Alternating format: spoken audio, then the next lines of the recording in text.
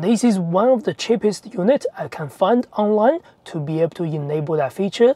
It is under 200 New Zealand dollars or under 180 Australian dollars before the discount.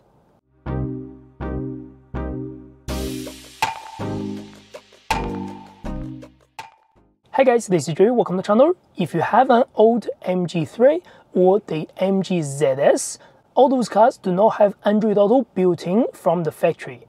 That means from the factory you can only use Bluetooth. But in today's video, I'll show you how to use this small adapter to enable a wireless Android Auto connection for your MG3, again the old generation, or the MG ZS, the current base model or the earlier generation. Small disclaimer, this company sent this product for free to me, but they do not sponsor this particular video.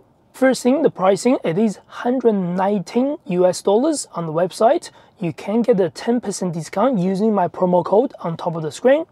If you would like to purchase this product, I would highly recommend you using my affiliated link down below in the description and also on the top comment. Not only that I guarantee you to have the best price, but also I will receive a small referral fee from the sale. Thank you very much in advance. In today's video, this is just a quick guide, but in the future video, I'll do a full complete review on this particular product. In terms of packaging, it's pretty simple. Inside the package, you can find the unit and a few cables. On the MG3 and MGZS, you want to use this, the USB-A connects to USB-C to this particular unit.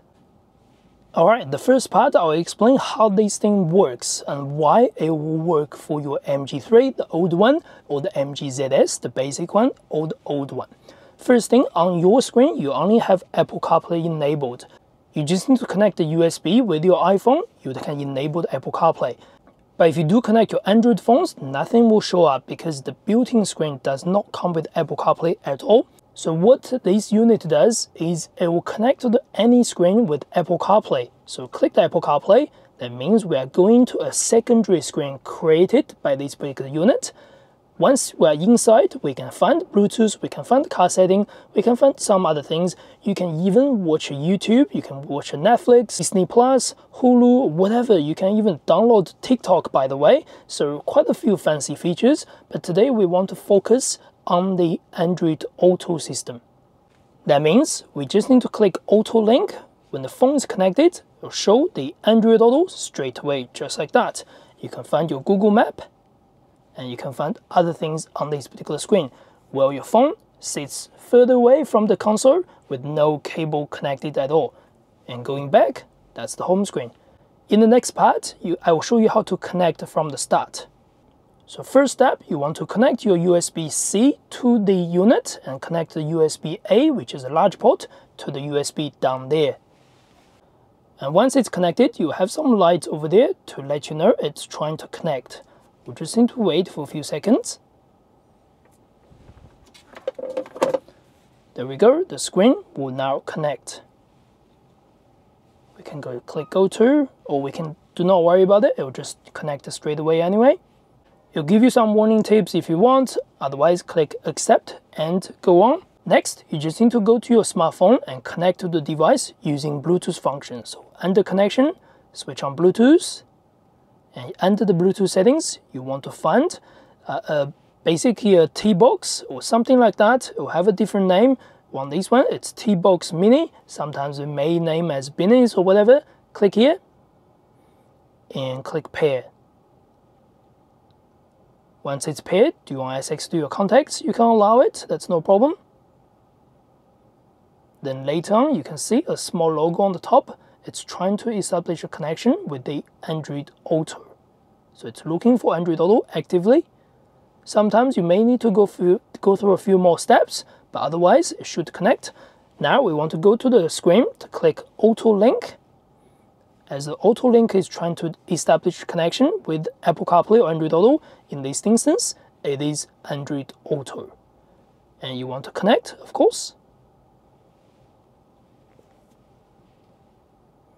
Just like that, my phone is giving most messages and vibrations to let me know that's connected. Next time we jump inside the vehicle, this should automatically connect straight away. And then you see a small dot over here just like that. When you click these dots, it allows you to go home or anything like that. you can go back. Otherwise, when you control the Android Auto screen, these things are all the same. There's no difference whatsoever. When you click exit, it does not exit to the MG screen yet. It exit to the CarPlay or to the uh, adaptive screen. So go here, now go to the MG screen, go here, that's the CarPlay or adaptive screen, Auto Link, that's your Android Auto screen.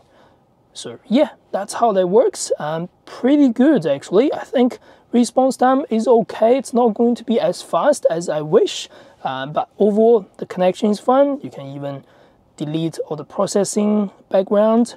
You can even go home again. That leads you back to home again. There are many, many settings. There are even Play Store. There are even YouTube. I'm going to leave this for the next video. But in this video, this is the quick way. There's only one small setting I wish to let you know. Just under the auto link, before you get everything connected, click the settings.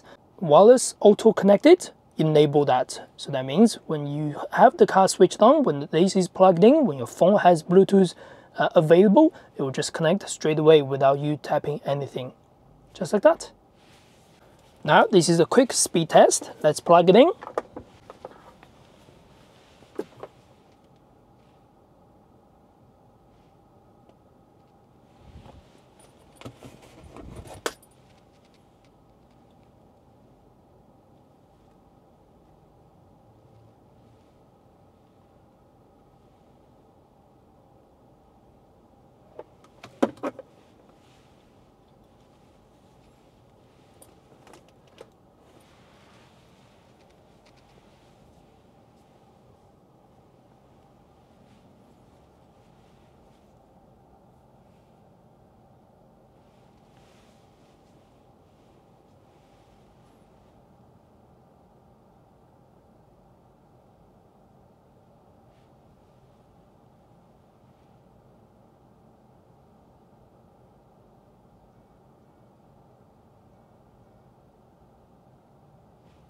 There we go, that's all done.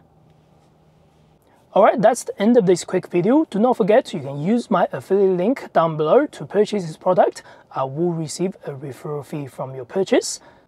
Also, use my promo code on the screen to get 10% discount.